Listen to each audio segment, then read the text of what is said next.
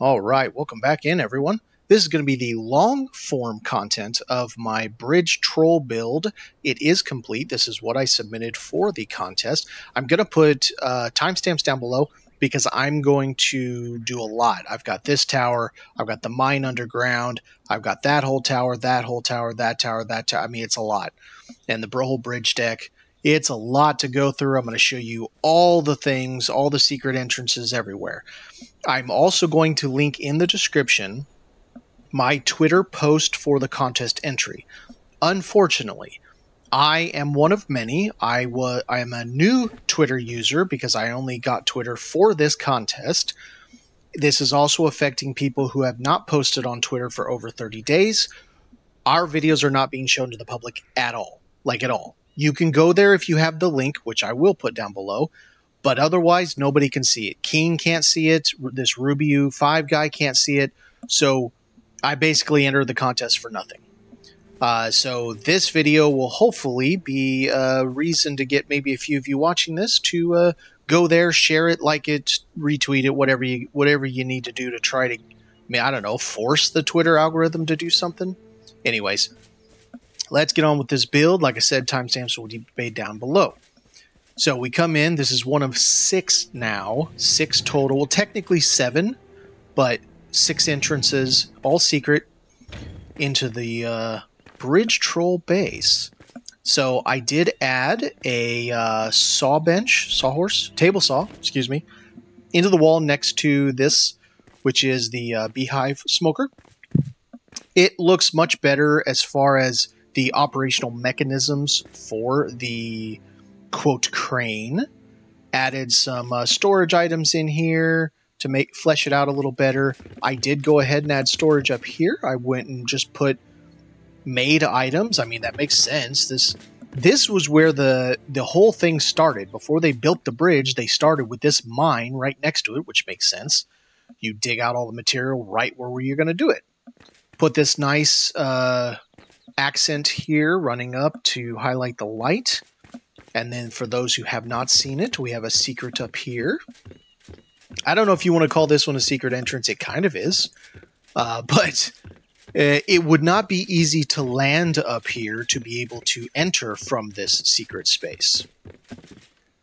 So watch out for Bloom, but you get one hell of a view from up here. You can just come up here, sit down, and one hell of a view. All right, let's go back down. Let's get down the fast way and not to kill ourselves. All right, let's go down into the mine. So added a little deck here for storage because I did put a bathroom in finally. It's a very simple bathroom. It is just the workers' bathroom, so they don't need a lot. They do their business and get back to work. Just fleshed this out a little bit more, made a little bit more storage for it look like they were actually doing their work down here. And then we're coming to the mine. The mine is now finished and it is wonderful. I think it turned out absolutely fantastic. Built a better version of my crane down here that I think looks much nicer. Also did the uh, table saw right here.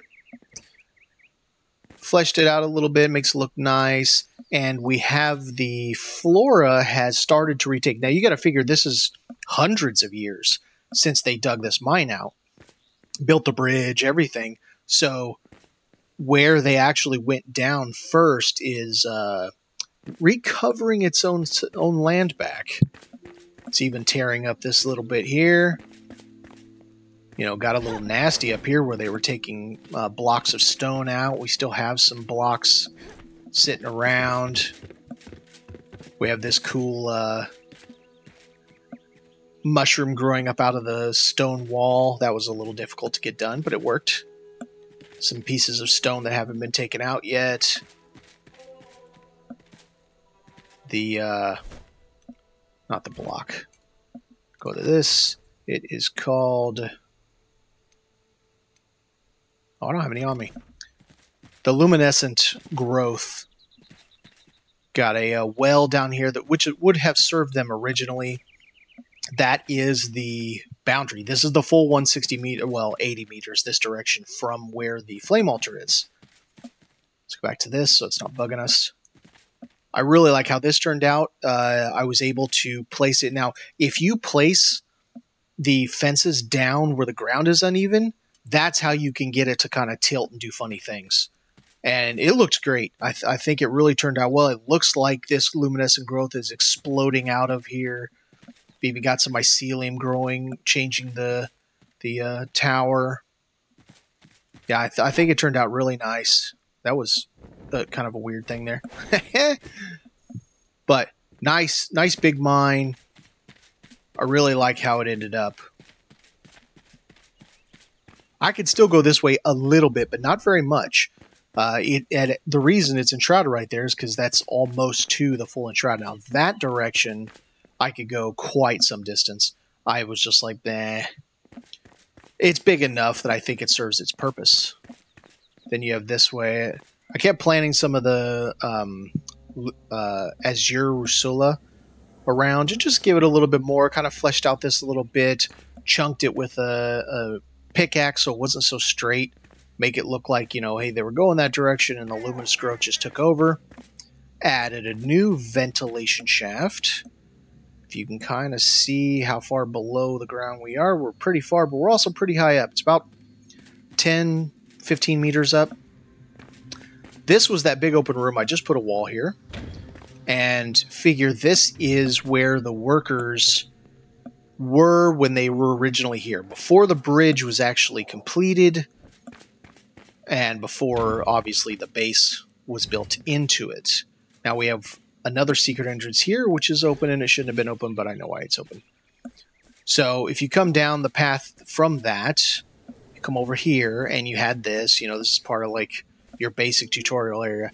I didn't. I decided not to fully flesh this out as a uh, quarry, but you kind of still get the idea that it it was a portion of quarry. I added this tree, works great. Looks like looks the part right there on the hill. Added these bushes to hide it, but you can't really see this anyway, and it's one of these. Works out really well. Come down in here. We got another ventilation tube here where if I carefully angle, you can see the bridge. There we go. Get a little bit of bridge view. And of course, this one was opened like because I just did my walkthrough. But you would come in here, and this is the first, it's technically the second tower, but this is the first main tower that's in the gorge. So these ladders don't go anywhere because we can't lean a ladder. So they're basically, they're stored here. This is your storage area and you have the bathroom that is for the ladies. Theirs is the first living quarters as we go up. Uh, nice tiled floor. This is the highly polished stone block. And they have a fireplace, of course. Nice lighting. Just very cozy. Small space, though, man. It was putting a bathroom in a hallway, basically. And then we come up here, and we are coming up to the ladies' uh, quarters first. So the farmer over here, you can see she's got flowery type uh, pictures. She has flowers all over this little bed right here, and there's a lot of them. I packed them in there as tight as I could get them. And then you've got the uh, huntress, and it makes sense how hers. She's got all animals. Maybe she's hunting them. She's got a trophy. They've got their own fireplace just very cozy. Hard to fit all of this, this in there, but very cozy. Little storage there. Little window to peek in, or ventilation, however you want to call it. So we're going to come up here, and this is the area for the uh, carpenter. This is a very scaled down version of my sawhorse. I couldn't fit the whole sawhorse in here, so I just did a really short one. But he's kind of short too, so why not, right? And then these bad boys, I love these. I've got a whole video up. It hasn't shown yet. It's live. Um, I've been separating my videos by every two days. Uh, tomorrow I get on a plane and I move again. So it's probably going to be a week after this. It's probably going to be a week before I can upload again. So I went ahead and spam made a bunch of videos and I'll be setting them every two days so hopefully there won't be much of a gap like there was in uh, early January. But yeah, he's got his own bathroom in here. And what I did with this, uh, this counts uh, not the bed, but this sink, that table. Uh, quite a few of it is sunk down into the ground a little bit. I used, I don't have it on me. Um, I used a shelf. Put, the, I, I chunked out some of the pieces, some of the floor, then put a shelf into where the shelf was just submerged a little bit, then place the item on it. And I'm going to show you more examples of that later to bring it down to his more smaller stature. And I thought that was a cute idea. But this is a super, super cute little room for him. Then we come up here, we've got him with a, his little eating space. Here with this guy, the reason there's flames in there is because there's two of that wall torch in there, and then I just scooted this thing in and it works perfect. I've got the uh, blue luminescent block kind of highlighting the back of these uh, trophies because this is the Huntress lair, and she has more animal posters. Has all the tools she needs, all of her trophies. Very well designed for her. And then the creme de la creme, the most important NPC, the alchemist. So we've got the spiral stair up here. We have a, an ingle nook. This ingle nook goes to another secret entrance. This one's dodgy, but watch out for Bloom. Woo! Because it throws you right out onto this this deck.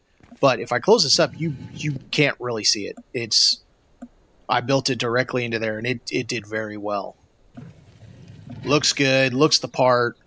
I come in here close it, and then just go right back down. Works out pretty well.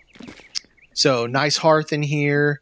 Uh, it says 68. I should be 69, but for some reason something's bugging and I can't get that last point uh, for 69. But yeah, he, he's got a lot of really cool stuff, including a, another uh, privacy screen. I built this four poster bed. I put the screens in from the backside by doing this. Uh, I have a video on this up. I'll show you real quick. So you take this and you come down like that. Then you go inside this and you put the uh, the picture frames from the inside, and then you can do that here with this as well. And if you can see the the banner is hanging in the center of the wood because I faced it off of this metal block that I put on the outside versus hanging it against it. looks really really good. Uh, also used a uh, see, that is the mahogany. Um, I don't remember which one that is. Up there as a headboard, I sunk that down one into it. Now that cubby could be a window if you had the space for it, but I didn't here. But he has everything he needs. He even has some floating candles because I don't know why we espouse that the uh, alchemist is a wizard, but we all, we all have the same thoughts that he must be a wizard. So we're going to go up here. This is the atrium or the balcony. We've got lots and lots of plants up here, plants in in pots, plants in bathtubs, just plants everywhere. Scarecrow chilling out.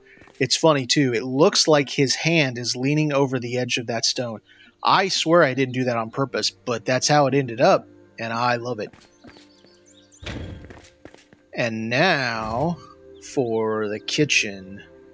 This is so cool looking. I did the same thing with this fire by setting the braziers one block down. I did a little too many. I put four of them. Should probably only put two, but that's okay. It's just a really, really bright fire. And this set of cabinets uh, is a design by Ketmall. Uh, used toilets. It's fantastic. This is also another design. These posts right here are this. They're standing torches they're one down and then you replace the tile and they're covered by that top and it looks like beams holding it up. Fantastic. This is the alchemy station that I sunk into the wall that looks uh, like a proper kettle being hung there.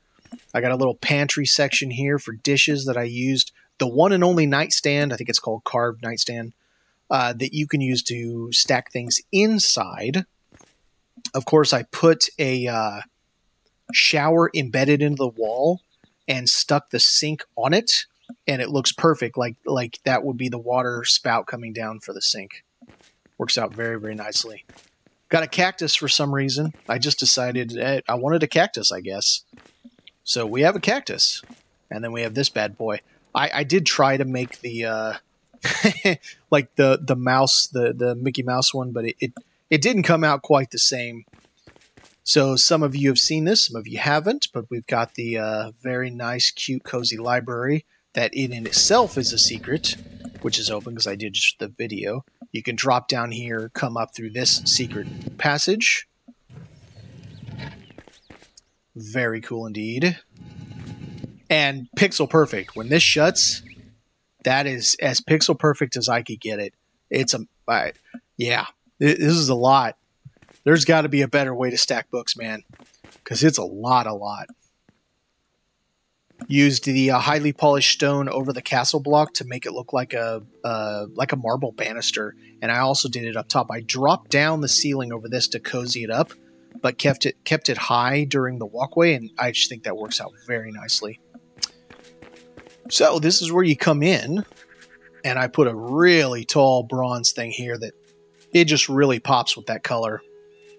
Workbench is right here. You can pop in. We have a secret passage here. This is not an entrance. You can't actually get into this. And this is scary. It feels like you're going to fall over, but you can't actually fall out. I've tested it a bunch of times. Here's my very uh, fun stuff. Oh, you didn't see that. Nothing to see here. Move along. So this is your main storage. I haven't moved every everything over yet but all of your mats, your food, your building blocks, all the stuff I use to flesh out the interiors, extra clothing, you know, just all that stuff. We're going to come down here to this. I love this. So the way I had to do this, this is the stone nightstand. I had to break down uh, two blocks, put a put a uh, floor at the bottom from the bottom side, sink that down. If you look, you can just tell it is the uh, stone nightstand, but it fits perfectly. So these are the palm wood chairs. In order to get that like L shape, you have to rotate twice. So when I showed you the the uh, stone benches, like building the grotto where it's a circle, I rotate those once. These have to be rotated twice. So there is a little bit. If you look on the back, there the tips, the corners are sticking out just a little bit, but I think it's okay, and it, and it really looks the part. It looks very nice. Here is the amazing bathroom that everybody loves so much. I love it too. It wasn't much I could put underneath the altar, but it really, really is cozy. You got the bathroom, but in a higher standing uh, height in the bath, in the shower, I mean, higher standing height where the toilet is, but then much lower down here. Bathtub right next to the windows. It's just super, super cozy. I love it. So we're going to go down again. This is the uh, deep storage.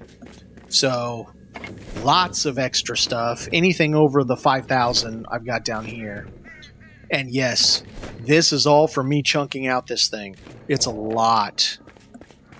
So another way to do a corner bench, um, it would have been better if I could have moved this one out a little bit and done them directly as a 90, but I couldn't because the bench is too long. We'll come down here into the jail. For those who haven't seen it, this is the regular jail cell. This is if you're not too bad, you even have some books to read.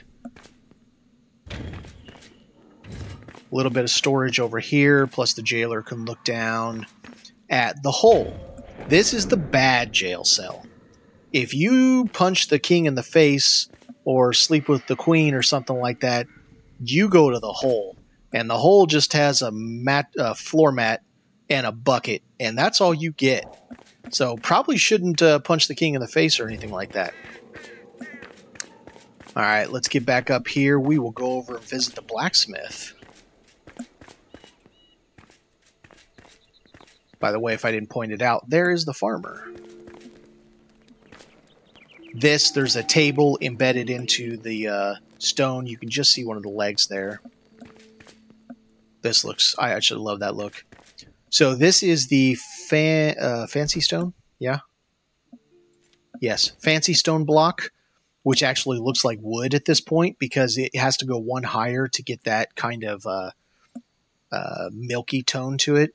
And then I just used the window to plant some more food. Make sure we had plenty of food for the place. Another planter there. Merge two of the stone benches together to make a really nice long bench. Though you can't see it right now. Let's see if I can see it if I do this. I put copper on the top. Yeah, you can see a little bit. For his vent hood. It's a proper functioning vent hood. It goes up. Uh, it doesn't go all the way to the outside, but it does go up. So he has a nice. I took away. I had in here originally a um, magic one, but that one looks better because it's got lots of metal and you know metally bits and all that stuff. So now let's go over to where the blacksmith sleeps. Just put a couple candles here so this uh, pathway wasn't super super dark. A nice deep bench. I wish we had like like pillows or some kind of thing. This is what fancy stone looks like if you go all the way with it. It's a really nice look. So blacksmith, very simple accommodations. I actually had it much more simple because I figured that's kind of how the blacksmith rolled is really simple. But I'm like, yeah, but then people are gonna be like, bro, you didn't finish it. I'm like, yes, I did. It's supposed to be that way. So you get the idea. Not nice and simple, nothing fancy for him. He's a, he's a working man. He just here here's old uh, a whole bunch of mediums. I have more than that. And then we come up to uh, a second deep storage, but for larger items, stuff we can't put inside things. So we got a couple mailboxes in here, stacked up uh, chairs, stacked windows, all kinds of goodies. And then we're going to go out to another secret entrance. I did have. I'm going to have to put some light on this thing because I can't see what I'm doing wrong button. I did have to change this slightly. Uh, I had to clean this up a little bit and make the stairs go right down there instead of I had it coming through that wall right there. Uh, because for some reason, when I came back to finish this portion, I couldn't get through right here. It, it wouldn't let me through at all, and it wouldn't let me through down there either. So now it has this kind of. I'm going to turn my thing off now. Now it has an entrance here. You still can't see it from out there. So if you come out, come down like you would to get this chest, you can see that there's a fire in there, but only because I did that for the video, really. I wouldn't normally have that. Get in there. There we go. It is more of a pain this way, but it still works. So we're coming down here, and this is going to be the chapel. I did finally find a way to do railings for this for those who've seen one of the videos before. I think it turned out quite nicely. I didn't come up with this idea, someone else had this idea. I don't remember who at this point, but this is your chapel look. So the reason I didn't do anything more with this tower is because, I mean, just look how much scaffolding is in this. That scaffolding is like 30 meters tall. Okay, maybe that's a little bit much. It's like 20 meters tall and it goes way, way down. It goes down further than this. I'm like, man, what am I even going to build in here with all this stuff? So, sunk some windows into the sides to give it some uh, more interesting look. Imagine these bowls are like offerings. Backlit this uh, giant uh, cross here. And it looks like, I swear I didn't do this, it looks like the uh, I mean, I, I didn't put this scaffolding here. It was I just gutted this thing, and it just happened to be in the way that the cross sits. It looks like the scaffolding's holding the cross together. It's awesome. Little maybe prayer book or something, a little rug to kneel and pray, whatever you like. We got some uh, skulls and bones and stuff. And that is it. That is going to be the tour of the Bridge Troll build. Like I said, I will place down in the uh, discussion and the comments I'll pin the comment the link to the actual Twitter post so that hopefully Keen actually notices it because they retweet all the ones that they see, but they're not seeing a bunch of ours. All the new accounts and all the uh, uh, inactive accounts. All right, guys. Thanks for watching. I appreciate you.